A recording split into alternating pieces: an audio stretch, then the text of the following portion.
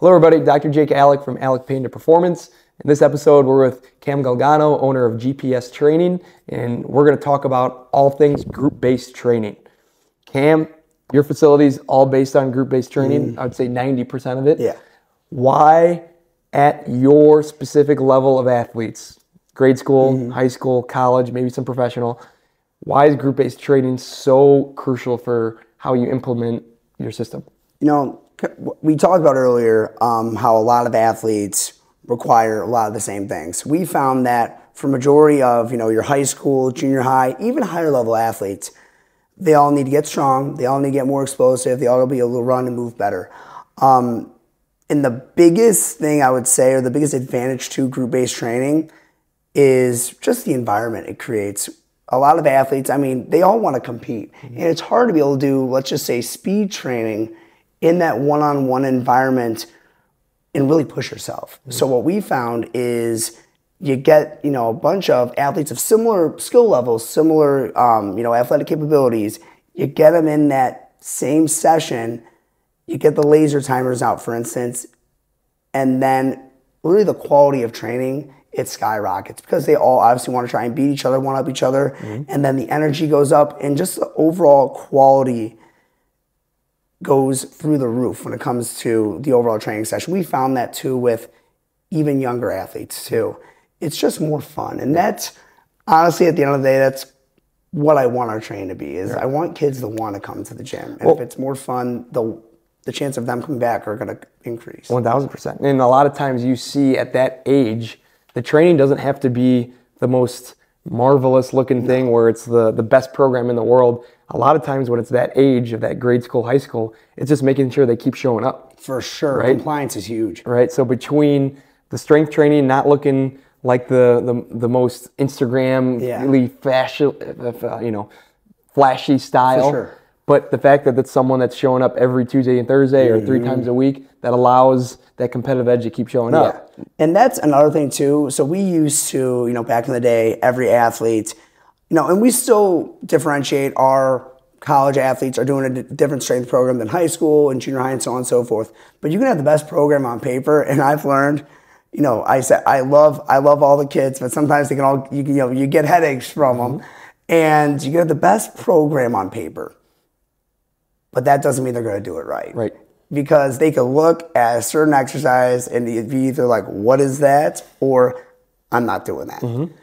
So we've learned to really kind of meet the athletes essentially almost where they are and make it more instructional based and focusing on the basics and doing them well. Yep. Well, and that's just like you hit on the head. Even when we utilize our team training with the, the high schools, it's more like when you look at the paper, you're like, there's not much is getting done here, Yeah. but it's the meat and potatoes sure.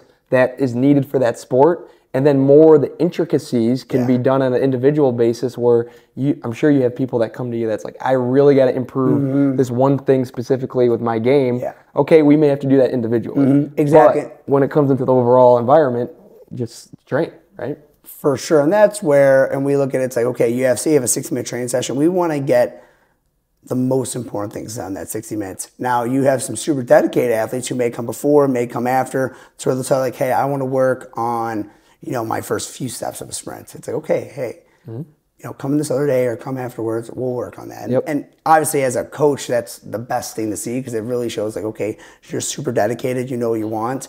Um, but during that main session, we want to make sure we're getting those big rocks covered. Yeah, perfect. Now, even when you see at like females versus males, Mm-hmm. how do you blend the lines between are they both genders working out with each other? Are you doing a female specific only, male specific? Mm-hmm. Yeah. How, how have you seen that? You know? It's it's really interesting because I found that female athletes, you know, with the demographic or the age group that I work with, that 12, 13 to all the way up to 18 to 21, once they get into the program, they're probably like our most dedicated trainee. It's awesome. One, they they love it. They um, you know, shout out Kelly who comes in here. Um, Kelly Rourke, she came to us, you know, super scrawny, and now like she's just like a gym rat.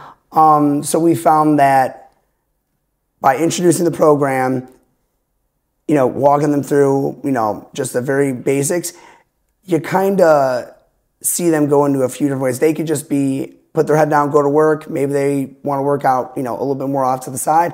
Or they you could see girls that are jumping right in with the guys too. Mm-hmm. So we kind of have that baseline, that base level workout, and then we adjust it based off of, you know, what their needs are and also a little bit more off of their personality type yeah, too. Yeah, yeah. Well, I mean, and that's when you get to the whole country club style at your place, right? Oh my God, it's, it's ridiculous. And then the, you'll get the the ten kids that show up 30 minutes before the workout, the chit chat. You could have, you know, five guys, five girls that are staying after. Again, it's is it is it ideal? Sometimes not. Sometimes you want them to get out of there a little bit. But I really wanted to create an environment to where, you know, kids they wanted to go to, they felt comfortable, they have fun.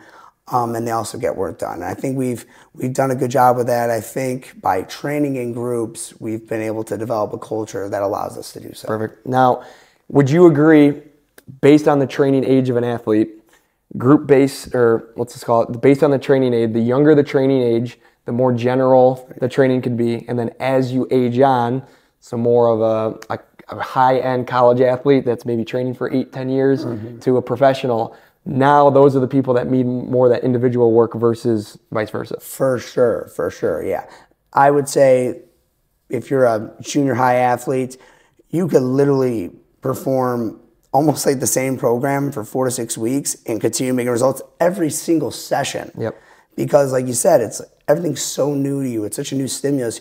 You're gonna make improvements mm-hmm. super quickly. It could be super general, but as your training age increases, as your overall, I guess, all of your physical qualities mm-hmm. increase, that training definitely needs to be way more specific. Yep. And it's cool because I mean, from my end, from the person who's you know developing the programming, it's more about coaching and you know the fundamentals at that younger age group. To where as you get older and their technique is pretty good, then you can get super fun with the programming. you can do some of the things that you see on you know you see some people doing in social media. These things that may look super flashy or super sexy, those could be more applicable maybe to that advanced athlete. Got it. But they wouldn't be applicable to Ninety percent of the others. Yeah, yeah. So in, in general, what we can summarize is one: don't judge a gym off of their social media, right? Yeah. Unless they have awesome Instagram stories like GPS does. Yeah, we got a, we got a new account too. The old one got hacked. so what's the new account?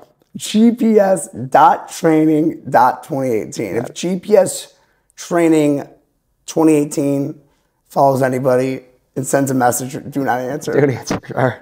So paired with the new account in group training wise, the biggest thing is motivation, energy wise. When you're training with a group environment, it just allows everyone to have more of a rah rah. I'm walking into a workout, I may not be as pumped up as now. I'm seeing someone from a different school, yeah. one of my teammates getting after it. I'm naturally going to get after it. Mm-hmm. Two, depending on our, our age, the younger I am, the more applicable I am to group training, yeah. the less specific I need to be versus if I'm a little bit more experienced, I'm more specific to getting to those higher levels. I can benefit from more individual yeah. style things versus group. But in the end, group is always king. Oh, for sure. For sure. And it's just, like I said, there's something about enjoying the workout process, having some fun because if you go in there and you're not, you know, maybe you go a whole 60 minutes, you're not talking to anybody. I mean, especially if you're a kid, are you really going to want to go back and train because then you can always just go to a, a charter fitness yeah. but it's it's that environment that culture you're trying to create it gets it gets stale when it's by for yourself sure time, right for sure so that's why whenever you know i have a chance to get a handful of buddies together it's uh-huh. like let's uh-huh. work out together because yeah. then you're always going to pull the best out of everybody exactly awesome exactly. all right cam Galgano owner of gps training all things group training